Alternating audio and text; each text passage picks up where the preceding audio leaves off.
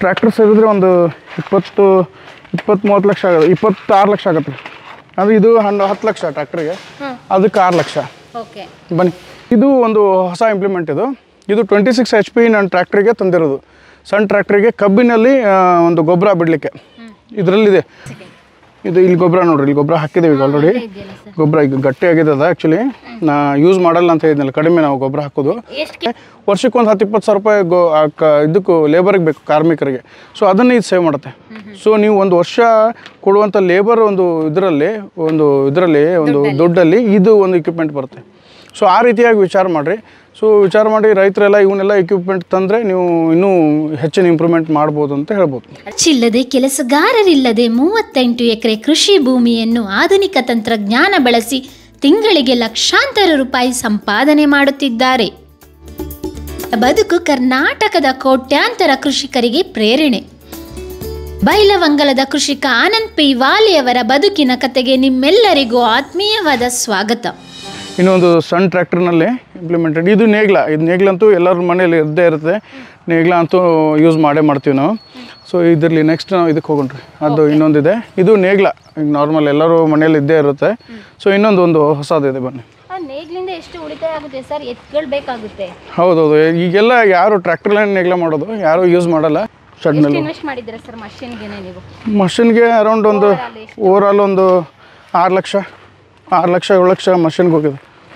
ಅಂದರೆ ಹೆಂಗಿದೆ ಒಂದೊಂದು ಮಷಿನಿಗೆ ರೋಟಾವೇಟ್ರ್ ಇದೆ ಅದು ಒಂದು ಲಕ್ಷ ಇಪ್ಪತ್ತು ಸಾವಿರ ಅದಕ್ಕೆ ಐವತ್ತು ಸಾವಿರ ಅದು ಒಂದೂವರೆ ಲಕ್ಷ ಅಂದರೆ ಎಲ್ಲ ಕೂಡಿ ಆರು ಲಕ್ಷ ಏಳು ಲಕ್ಷ ಹೋಗ್ಬಿಡುತ್ತೆ.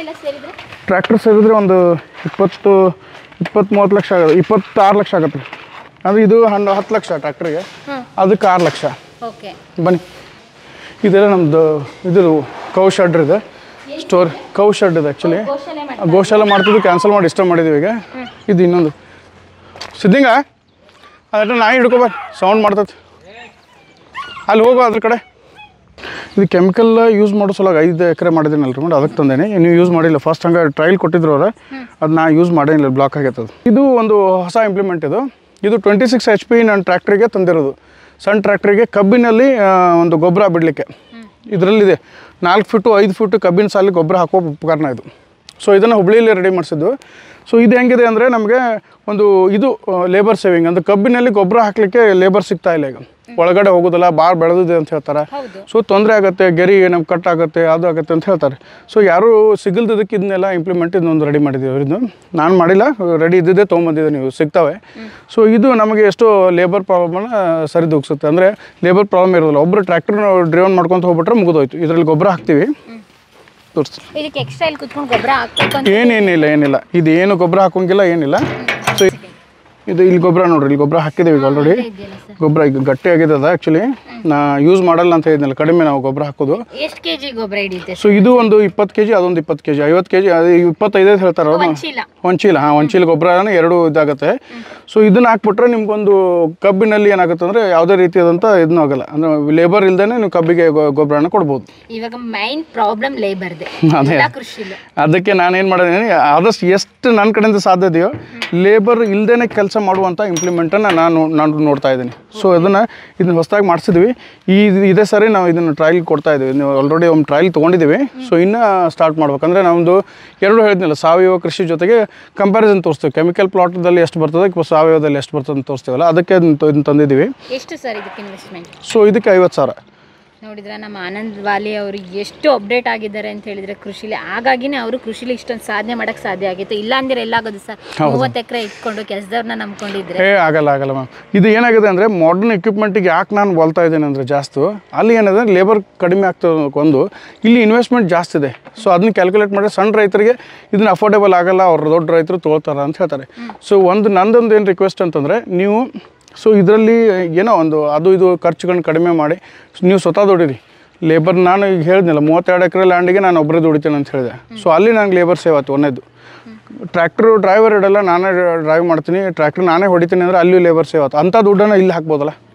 ಸೊ ಇಲ್ಲಿ ಹಾಕಿ ಇಂಥ ಎಕ್ವಿಪ್ಮೆಂಟ್ ಮಾಡಿಬಿಟ್ರೆ ಇದನ್ನು ಹತ್ತು ಪಟ್ಟು ಗಳಿಸ್ಬೋದಲ್ಲ ನೀವು. ಸೊ ಇಲ್ಲಿ ವರ್ಷಕ್ಕೆ ಒಂದು ಹತ್ತು ಇಪ್ಪತ್ತು ಸಾವಿರ ರೂಪಾಯಿ ಗೋ ಇದಕ್ಕೂ ಲೇಬರ್ಗೆ ಬೇಕು ಕಾರ್ಮಿಕರಿಗೆ. ಸೊ ಅದನ್ನು ಇದು ಸೇವ್ ಮಾಡುತ್ತೆ. ಸೊ ನೀವು ಒಂದು ವರ್ಷ ಕೊಡುವಂಥ ಲೇಬರ್ ಒಂದು ಇದರಲ್ಲಿ ಒಂದು ಇದರಲ್ಲಿ ಒಂದು ದುಡ್ಡಲ್ಲಿ. ಇದು ಒಂದು ಇಕ್ವಿಪ್ಮೆಂಟ್ ಬರುತ್ತೆ. ಸೊ ಆ ರೀತಿಯಾಗಿ ವಿಚಾರ ಮಾಡಿರಿ. ಸೊ ವಿಚಾರ ಮಾಡಿ ರೈತರೆಲ್ಲ ಇವನ್ನೆಲ್ಲ ಎಕ್ವಿಪ್ಮೆಂಟ್ ತಂದರೆ ನೀವು ಇನ್ನೂ ಹೆಚ್ಚಿನ ಇಂಪ್ರೂವ್ಮೆಂಟ್ ಮಾಡ್ಬೋದು ಅಂತ ಹೇಳ್ಬೋದು. ಅದೇ ಫಸ್ಟ್ ನೀವು ಹೇಳಿದಂಗೆ ಫಸ್ಟ್ ಟೈಮ್ ಕಷ್ಟ ಆಗುತ್ತೆ ಅವ್ರಿಗೆ. ಹ್ಞೂ ಹೌದು ಇಷ್ಟೊಂದು ಇಷ್ಟೊಂದು ಎಲ್ಲಿಂದ ತರೋದಂತ. ಈ ರೀತಿಯಾಗಿ ಯಂತ್ರೋಪಗಳನ್ನ ತಗೋಬೇಕು ಅಂದ್ರೆ ಸಬ್ಸಿಡಿ ಸಿಗಬಹುದಲ್ವಾ ಸರ್? ಸಬ್ಸಿಡಿ ಇದೆ ಮೇಡಮ್ ಇದು ಹೆಂಗಿದೆ ಅಂದರೆ ಆ್ಯಕ್ಚುಲಿ ಅದು ಆರ್ ಎಸ್ ಕೆದಲ್ಲಿ ಲಿಸ್ಟೆಡ್ ಇರಬೇಕು. ಲಿಸ್ಟೆಡ್ ಇದ್ದರೆ ಮಾತ್ರ ಅದು ಮೊದಲು ಹೋಗಿ ನೀವು ಕೇಳ್ಕೊಡ್ರಿ. ಅಂದ್ರೆ ನನ್ಗೆ ನಾನು ತಂದಿಲ್ಲ ಅಂತ ಹೇಳಿದ್ನಲ್ಲ ಯಾವುದೂ ಒಂದು ಇಕ್ವಿಪ್ಮೆಂಟನ್ನು ನಾನು ಇದನ್ನ ತಂದಿಲ್ಲ. ಇದು ಅಲ್ಲ. ಇದು ಸಹಿತ ನಾ ಯಾವುದೂ ಇಲ್ಲ ಯಾವುದು ತೊಗೊಂಡಿಲ್ಲ. ಇದು ಸಹಿತ ನಾನು ಯಾವುದು ಆರ್ ಎಸ್ ಕೆದಿಂದ ಸಹಾಯ ಅಂದರೆ ಗೌರ್ಮೆಂಟ್ ಸಹಾಯ ಇಲ್ಲದೇ ತು ಮಾಡಿದ್ದು. ಸೊ ಗೌರ್ಮೆಂಟಿಗೆ ನಾವು ಏನು ಮಾಡೋದು ಅಂದರೆ ನಾವು ಏನು ಸ ಕೊಡೋಕ್ಕೆ ಸಾಧ್ಯತೆ ಅಂತ ಕೇಳ್ತಾರಲ್ಲ ನಾವು ಸಮಾಜಕ್ಕೆ ಏನು ಕೊಡೋದು? ಒಂದು ಸಬ್ಸಿಡಿ ನಾವು ವೇವ್ ಮಾಡಿದ್ದೀನಪ್ಪ. ಸೊ ನನ್ನಿಂದ ಒಬ್ಬ ಇನ್ನೊಬ್ಬಂಗೆ ಏನಾದರೂ ಒಂದು ಸಹಾಯ ಆಗುತ್ತೆ. ಸೊ ನಾನು ಇದನ್ನ ವೇವ್ ಮಾಡಿಬಿಟ್ರೆ ಇನ್ನೊಬ್ಬಂಗೆ ಸಹಾಯ ಆಗುತ್ತೆ. ಸೊ ಅದನ್ನು ನನ್ನ ಕಡೆ ಇದೆ ನನ್ನ ಕಡೆ ಶಕ್ತಿ ಇದೆ. ದೇವ್ರು ನಾನು ಚೆನ್ನಾಗಿ ಇಟ್ಟಿದ್ದಾನೆ ಅಂದರೆ ನಾನು ಇದನ್ನ ಯಾಕೆ ಮಾಡಬಾರ್ದು. ಈ ಸಬ್ಸಿಡಿ ವೇವ್ ಮಾಡಿದರೆ ಇನ್ನೊಬ್ಬ ನನಗೆ ಸಬ್ಸಿಡಿ ಇನ್ನೊಬ್ಬ ತೊಗೋತಾನೆ. ಸೊ ಅದಕ್ಕೆ ನಾನೇನು ಹೇಳೋದು, ಎಲ್ಲ ರೈತರು ಹಿಂಗೆ ಕಾನ್ಫಿಡೆನ್ಸ್ಲೇ ಬೆಳೀರಿ, ನೀವು ಸಬ್ಸಿಡಿ ವೇವ್ ಮಾಡಿರಿ. ಸಬ್ಸಿಡಿ ವೇವ್ ಮಾಡಿ ತೋರಿಸ್ರಿ, ಅಂದರೆ ನಾವು ಮೊದಲು ಬೆಳಿಬೇಕು, ಇಷ್ಟು ಇನ್ಕಮ್ ಇದೆ ಅಂತ ತೋರಿಸ್ಬೇಕು. ಆಮೇಲೆ ನೀವು ಸಬ್ಸಿಡಿ ವೇವ್ ಮಾಡಿರಿ. ರೈತರಿಗೆ ನೀವು ಒಂದು ಮುಂದೆ ಹೇಳ್ತೀನಿ ನಾನು ಆ್ಯಕ್ಚುಲಿ ಅದು ನಮಗೆ ಸರಿಯಾದಂಥ ಒಂದು ಪ್ರೈಸ್ ಸಿಗ್ತಾ ಇಲ್ಲ. ಸೊ ಅದು ಒಂದು ಕೆಲವೊಂದು ಪ್ರಾಬ್ಲಮ್ ಇದ್ದಾವೆ ಸೊ ಸೋಷಿಯಲ್ ಅವೆಲ್ಲ ಪ್ರಿವೇಲಿಂಗ್ ಪ್ರಾಬ್ಲಮ್ಸ್ ಎಲ್ಲ ಆಮೇಲೆ ಹೇಳ್ತೀನಿ. ಸೊ ಈ ಥರ ಮಾಡಿದರೆ ಮಾತ್ರ ನಾವು ಸಕ್ಸಸ್ ಆಗಕ್ಕೆ ಸಾಧ್ಯ. ಇದನ್ನ ಕಬ್ಬಿಗಷ್ಟೇ ತಗೊಂಡಿದ್ದೀರಲ್ಲ ನೆಕ್ಸ್ಟ್ ಇದನ್ನ ಜೋಳ ಅದಕ್ಕೂ ಯೂಸ್ ಮಾಡ್ಬೋದು. ಹಾಂ ಅದು ಇದರಲ್ಲಿ ಏನಿದೆ ಅಂದರೆ ಒಂದು ಅಲ್ಟ್ರೇಷನ್ಸು ಇದು ನಾಲ್ಕು ಫುಟು ಐದು ಫುಟು ಎರಡರಲ್ಲಿ ಮಾಡ್ಸೋಂಗೆ ಮಾಡ್ಸೇನೆ ನಾನು. ಸೊ ಇದರಲ್ಲಿ ಒಂದು ಏನು ಮಾಡಿದ್ರು ಇವರು ನನಗೆ ಗೊಬ್ಬರ ಅಂತ ಕೊಟ್ಟರು ನಾ ಇದನ್ನು ಫಸ್ಟ್ ಯೂಸ್ ಮಾಡಿದ್ದೆ ಅದಕ್ಕೆ ಅಂದರೆ ಜೀವಾಮೃತ ಕೊಡ್ಲಿಕ್ಕೆ ಇದನ್ನ ಯೂಸ್ ಮಾಡಿದ್ದೀನಿ ಸೊ ನಾನು ಇದನ್ನು ವೀಲನ್ನು ಇದನ್ನು ಇದನ್ನ ಕೆಳಗಡೆ ಗೊಬ್ಬರ ಹಾಕಿಲ್ಲ ಇದು ರೆಂಟೇಲೆ ನನಗೆ ಭೂಮಿಯನ್ನು ಹದ ಮಾಡ್ತದೆ. ಆ ಗೊಬ್ಬರ ಬಿಡಲ್ಲ ಅದರಲ್ಲಿ. ಇಲ್ಲಿ ಎರಡು ಪಕ್ಕದಲ್ಲಿ ಒಂದೊಂದು ಟ್ಯಾಂಕ್ ಕೊಡಿಸ್ತೇವೆ ನಾವು. ಪ್ಲಾಸ್ಟಿಕ್ ಟ್ಯಾಂಕ್ ಮಾಡಿದ್ದೀವಿ ಅಂದರೆ ಇದರಲ್ಲಿ ನಾನು ಇನೋವೇಟ್ ಮಾಡಿದ್ದು. ಇದು ಹಾಂ ಇದು ಇದಕ್ಕೊಂದು ಏನು ಮಾಡಿದ್ವಿ? ಇದಕ್ಕೊಂದು ಅಲ್ಟ್ರೇಷನ್ ನಾ ಮಾಡಿದ್ದು. ಇದಕ್ಕೊಂದು ಎರಡು ಟ್ಯಾಂಕ್ ಮಾಡಿದ್ದೀನಿ ಸೈಡ್ಗೆ ಅದು ಟ್ಯಾಂಕನ್ನು ನಾನು ಒಂದು ಹಗ್ಗ ತೊಗೊಂಡು ಕಟ್ಬಿಡ್ತೀವಿ. ಸೊ ಅದರಲ್ಲಿ ಜೀವಾಮೃತ ಹಾಕ್ತೀವಿ. ಜೀವಾಮೃತ ನಾವು ಡ್ರೆಂಚಿಂಗ್ ಮಾಡ್ಬೇಕಾದ್ರೆ ಎಲ್ಲ ಗಿಡಕ್ಕೂ ಜೀವಾಮೃತ ಕೊಡ್ಬೇಕಾದ್ರೆ ಎಷ್ಟೋ ಜನ ಬೇಕಾಗುತ್ತೆ. ಇಲ್ಲಿ ಜೀವ ಜೀವಾಮೃತ ಕೊಟ್ಬಿಟ್ರೆ ಇದು ಆಟೋಮೆಟಿಕ್ ಕಬ್ಬಿನ ನಡು ಸಾಲಿನಲ್ಲಿ ಹೋಗ್ತದೆ ಸಣ್ಣ ಟ್ಯಾಕ್ಟ್ರು ಸೊ ಜೀವಾಮೃತ ತಾನೇ ಕೊಟ್ಕೊಂತ ಹೋಗ್ತದೆ. ಒಂದು ಪೈಪ್ ಕೊಟ್ಟು ಅದಕ್ಕೆ ವಾಲ್ ಇಟ್ಟಿರ್ತೀವಿ. ನಮ್ಗೆ ಎಷ್ಟು ಬೇಕೋ ಅಷ್ಟು ವಾಲ್ ಸ್ಟಾರ್ಟ್ ಮಾಡಿಬಿಟ್ರೆ ಜೀವಾಮೃತ ನಾವು ಸಪ್ಲೈ ಮಾಡ್ಬೋದು. ಸೊ ವಿದೌಟ್ ಲೇಬರ್ ಸೊ ಅದಕ್ಕೂ ಇದನ್ನ ಯೂಸ್ ಮಾಡ್ಬೋದಲ್ಲ? ಸೊ ಇದು ಬರೀ ನಾನು ಕೊಟ್ಟಿದ್ದು ಗೊಬ್ಬರ ಹಾಕ್ಲಿಕ್ಕೆ ಕೆಮಿಕಲ್ ಗೊಬ್ಬರ ಹಾಕ್ಲಿಕ್ಕೆ. ನಾನು ಯೂಸ್ ಮಾಡ್ತಾ ಇರೋದು ಆರ್ಗ್ಯಾನಿಕ್ ಇದಕ್ಕೆ ಯೂಸ್ ಮಾಡ್ತಾ ಇದ್ದೀನಿ.